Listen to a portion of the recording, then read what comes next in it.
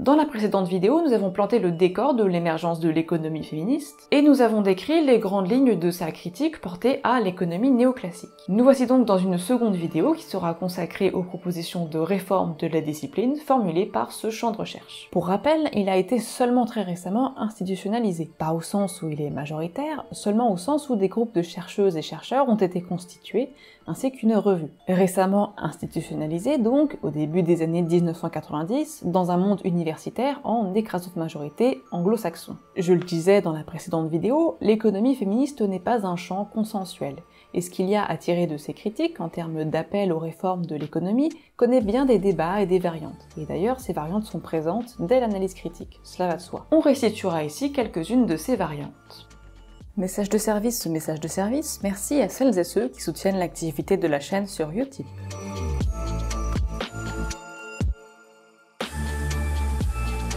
Nous évoquions précédemment la figure de l'individu autonome rationnel, dont les traits caractéristiques servent à modéliser les comportements, pour l'économie néoclassique, d'un individu jugé standard. On retrouve cette figure et ces traits dans la théorie du choix rationnel, et donc on retrouve en économie féministe les critiques dont nous avons déjà parlé. Une fois la critique faite, me direz-vous que propose-t-elle de faire de ces outils et méthodes de travail? Pour certaines économies féministes, la théorie du choix rationnel est à refuser complètement, mais pour d'autres, il ne faut pas se priver de cet outil et plutôt chercher à l'utiliser différemment avec de nouvelles précautions. Précisons tout de même ce qui est entendu par théorie du choix rationnel. C'est une théorie très utilisée en économie, mais aussi de manière plus générale dans les sciences sociales pour analyser et comprendre les comportements des individus. Pour la résumer, en suivant ce qu'en dit Raymond Boudon dans son article Théorie du choix rationnel ou individualisme méthodologique, il s'agit d'une série de six postulats. Premier postulat, l'individualisme. Je cite, Tout phénomène social résulte de la combinaison d'actions, de croyances ou d'attitudes individuelles. Fin de citation. Second postulat, la compréhension.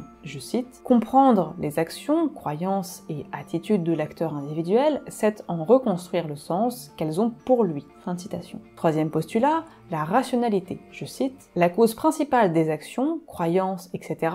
du sujet réside dans le sens qu'il leur donne, plus précisément dans les raisons qu'il a de les adopter. Fin de citation. Quatrième postulat, le conséquentialisme. Je cite, Les acteurs font ce qu'ils font ou croient ce qu'ils croient parce qu'ils ont des raisons de faire ce qu'ils font ou de croire ce qu'ils croient. Fin de citation. Cinquième postulat, l'égoïsme. Je cite, Parmi les conséquences de son action, les seules qui intéressent l'acteur sont celles qui le concernent personnellement. Fin de citation. Et sixième postulat, le calcul coût-bénéfice. Je cite, Toute action comporte un coût et un bénéfice et l'acteur se décide toujours pour la ligne d'action qui maximise la différence entre les deux. Fin de citation. C'est une théorie cadre qui a abondamment été discutée, critiquée, mais qui a beaucoup servi et sert encore, notamment parce qu'elle est perçue à la fois comme très intuitive et comme propice à la modélisation mathématique. Mais venons-en à ce que souhaite en faire l'économie féministe.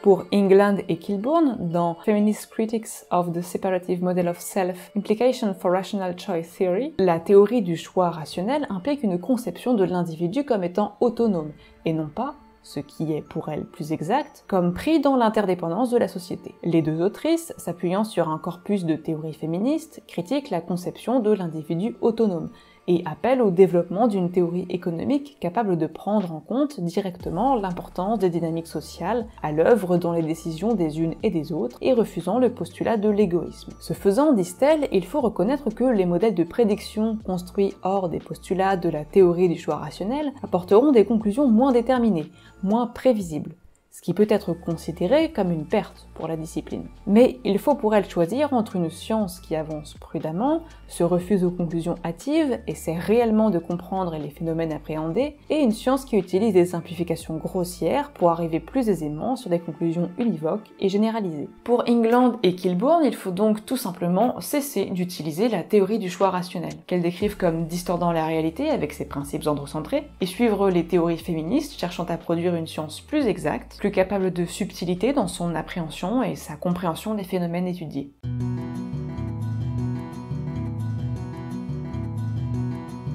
pour Julie Nelson, notamment dans son article de 1995, Feminism and Economics, qui est paru dans la revue The Journal of Economics. Au contraire, il ne s'agit pas de rejeter complètement la théorie du choix rationnel, mais plutôt de développer une méthodologie diversifiée. Comme England et Kilbourne, elle met en garde contre le désir d'obtenir des résultats via des modélisations univoques et simplifiées, qui plus est marquée par l'androcentrisme. Pour elle, par exemple, la prépondérance de la modélisation mathématique dans l'économie néoclassique, s'appuyant sur les postulats de la théorie du choix rationnel, émane d'une pratique androcentrée de la science. Les mathématiques abstraites et leur grand prestige sont les produits d'une masculinité fantasmée comme éloignée de la matière, de la contingence, qui tire son pouvoir de la puissance de précision inflexible et univoque du calcul. Bien sûr, les mathématiques sont un outil précieux pour l'économie, dit Nelson, mais leur prestige, dont on sait d'où il vient, tend à empêcher l'émergence d'autres types d'analyses et de théorisation qui seraient pourtant d'importants atouts de compréhension des phénomènes.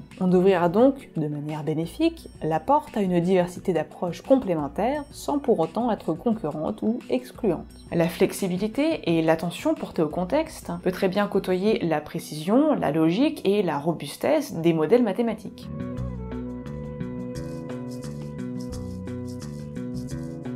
Pour Elizabeth Anderson non plus, notamment dans son article Should Feminists Reject Rational Choice Theory, il ne s'agit pas de rejeter complètement la théorie du choix rationnel, mais de l'améliorer et de s'en servir d'une autre manière qu'en économie néoclassique. Bien sûr, pour elle, il faut se garder de faire de cette théorie un modèle universel d'explication des comportements des individus. Cependant, elle propose d'y voir non pas un état de fait, une description adéquate du monde, mais plutôt un idéal à atteindre. La figure de l'individu autonome est selon elle à concevoir comme un idéal de dignité humaine, pouvoir faire des choix sans subir de pression sociale, quand bien même il est rarement atteint. Ce faisant, l'analyse économique en ressortira transformée. Il ne faudra pas chercher à plaquer sur le réel le modèle de l'individu idéal impliqué par la théorie du choix rationnel, mais il faudra s'atteler à comprendre ce qui empêche les acteurs, et en l'occurrence les actrices, d'être dans cette situation idéale du choix rationnel individuel. C'est ainsi qu'il sera possible de prendre en compte les structures de domination et d'oppression, et par conséquent de chercher comment détruire ces structures, permettre l'émancipation des individus.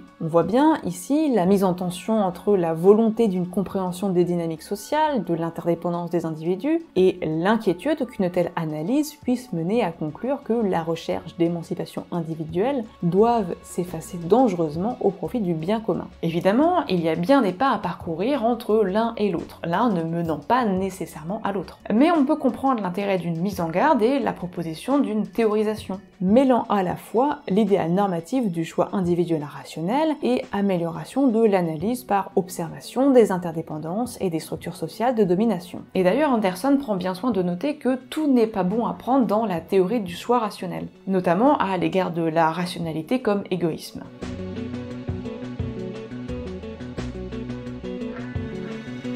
L'économie féministe se heurte également aux problématiques de l'épistémologie féministe en général. À cet égard, je vous renvoie à ma propre vidéo sur l'épistémologie féministe. J'y précise notamment que, pour le dire très vite, l'épistémologie, c'est l'étude de comment la science se présente comme science. Faisant la critique d'une discipline dont le courant majoritaire, l'économie néoclassique, se décore au maximum des atours des sciences dures pour éviter de passer pour une science toute molle et pour se revendiquer d'une objectivité forte, l'économie féministe doit bien évidemment faire face à la question si une science se met à être féministe, peut-elle être en considérée comme une science, puisque la voilà avec un agenda politique à remplir. Comme pour la question de savoir quoi faire de la théorie du choix rationnel, il y a dans l'épistémologie de l'économie féministe plusieurs manières de traiter cette question.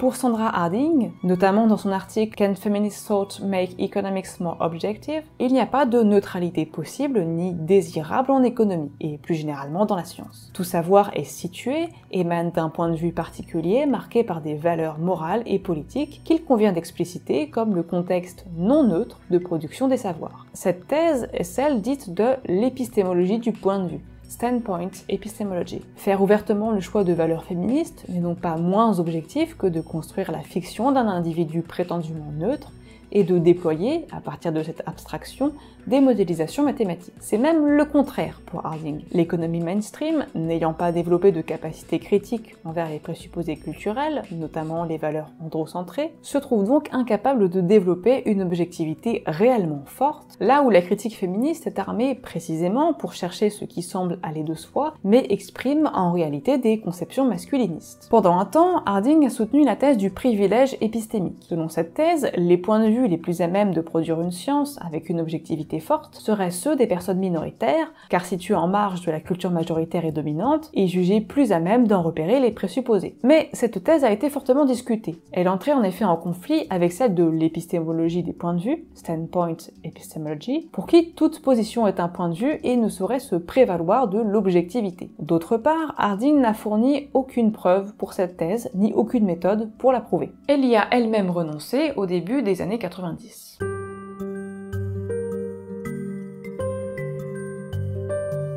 Pour Hélène Longino, dans Science as a Social Knowledge, l'objectivité en science est une production collective. Longino soutient une conception appelée l'empirisme contextuel. Divers groupes, appelés des communautés épistémiques, à partir d'expériences qui sont variables en fonction des groupes et plurielles au sein de chaque groupe, forgent, chacun collectivement, leur conception de l'objectivité. Avec cette thèse, il semble que nous puissions, sans nous débarrasser de l'idée que toute science est située et doit être explicitée comme telle, dépasser le problème d'avoir à choisir un point de vue légitime pour produire une bonne science au sein de la multiplicité des points de vue. Pour Languino, il ne faudrait pas changer le point de vue de la science en passant du point de vue d'un individu de type dominant au point de vue d'un individu de type dominé, et ce, dans l'idée de produire une science plus objective. Mais il faudrait changer la composition du collectif d'individus produisant cette science. On passerait donc, en économie par exemple, d'un groupe fortement homogène, constitué de mâles blancs, cisgenres, aisés, etc., à un groupe très hétérogène, incluant une grande diversité de personnes minoritaires. Cela ne voudrait pas dire abandonner l'idée d'avoir des valeurs théoriques ou cognitives communes en science. C'est-à-dire qu'on n'aurait pas besoin de renoncer à l'élaboration de valeurs communes qui permettent de juger la qualité scientifique de telle ou telle théorie. Cela voudrait dire que des valeurs théoriques, comme celles apportées par le philosophe des sciences Thomas Kuhn, l'exactitude, la cohérence, la simplicité, l'amplitude et la portée, et la fécondité, sont certes importantes d'un point de vue épistémique, mais qu'elles sont choisies et situées, émanent d'un certain contexte, et qu'il est possible d'en proposer d'autres, collectivement construites et discutées. Bien évidemment, cela signifierait que, dans une certaine mesure, à un niveau scientifique global, il n'y aurait pas d'ensemble de valeurs théoriques unifiées. En revanche, à l'échelle locale de chaque communauté épistémique, un travail collectif d'élaboration de valeurs partagées doit avoir lieu et être le fruit conscient et explicite des aspirations des scientifiques impliqués. Ce travail ne devra pas pour autant se figer dans le marbre, mais devra rester provisoire, discutable, modifiable, notamment à l'endroit des échanges avec d'autres communautés épistémiques. Avec Longino, tout comme avec Hardin, les valeurs morales et politiques ne viennent pas nécessairement la recherche scientifique. Tout dépend de comment ces valeurs sont conscientisées, explicitées et prises en charge comme faisant partie intégrante du processus d'élaboration des connaissances.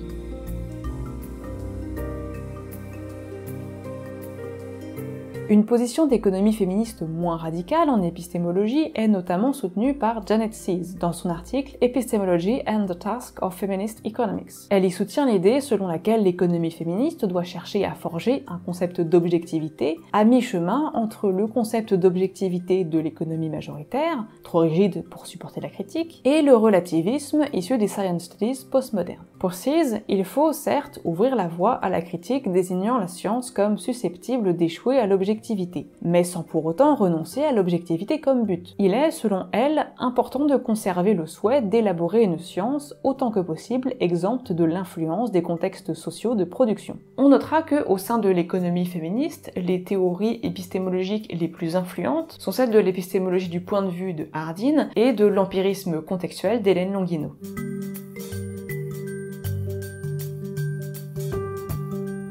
Un point important qui ressort de l'économie féministe est qu'il est nécessaire de donner un autre sens à l'économie que celui qui lui est imposé par la branche néoclassique. Pour l'économie féministe, l'économie doit devenir une science sociale de la distribution des biens. L'économie féministe est normative. Elle propose, à travers sa critique et son renouvellement des fondements théoriques, des outils et des analyses de l'économie mainstream, des valeurs différentes. L'économie néoclassique, avec son type unique d'agentivité de l'individu autonome, rationnel, égoïste, maximisateur, prétend produire des modèles universels de prédiction des comportements économiques et réduit l'économie à la sphère marchande. L'économie féministe, quant à elle, propose une diversité de types d'agentivité, permettant notamment de prendre en compte dans ses analyses les comportements altruistes de soins, de responsabilité d'autrui, et de les concevoir comme faisant partie de ce qui a de la valeur pour les sociétés, et donc comme faisant partie de leur économie, quelle que soit la manière dont ils sont pris en compte. Tentative de quantification monétaire des tâches domestiques, etc.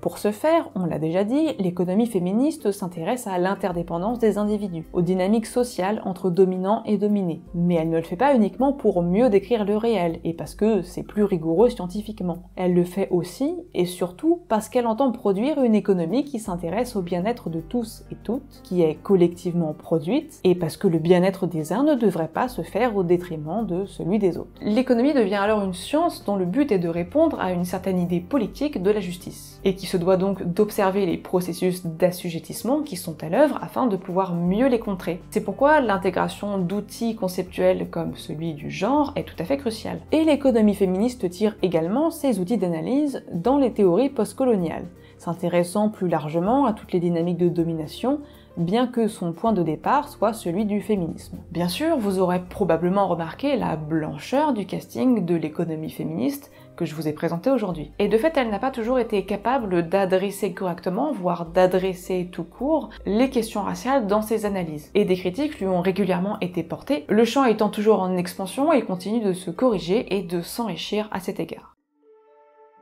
Voilà, on va s'arrêter là pour ces deux vidéos de présentation générale. Comme d'habitude, j'aurais bien aimé pouvoir vous en dire plus, plus en précision, parce que comme je vous le disais dès l'introduction, c'est un champ très riche que je trouve absolument passionnant et sur lequel j'ai vraiment envie de creuser plus. Bien sûr, il faudrait beaucoup plus que deux vidéos pour adresser toutes les problématiques euh, qui sont traitées par l'économie féministe, la paye, le travail domestique, le soin, etc. Et j'espère pouvoir continuer en approfondissant les problématiques et les réponses qui sont apportées. D'ici là, on se retrouve le mois prochain pour une nouvelle vidéo de revue, normalement, et il y aura bien sûr la poursuite des lives d'explication de texte de troubles dans le genre de Butler. N'hésitez pas, si vous souhaitez avoir des récapitulatifs de mon activité, à vous abonner à la newsletter. Le lien se trouve dans la barre d'infos. Voilà, je vous dis à très vite.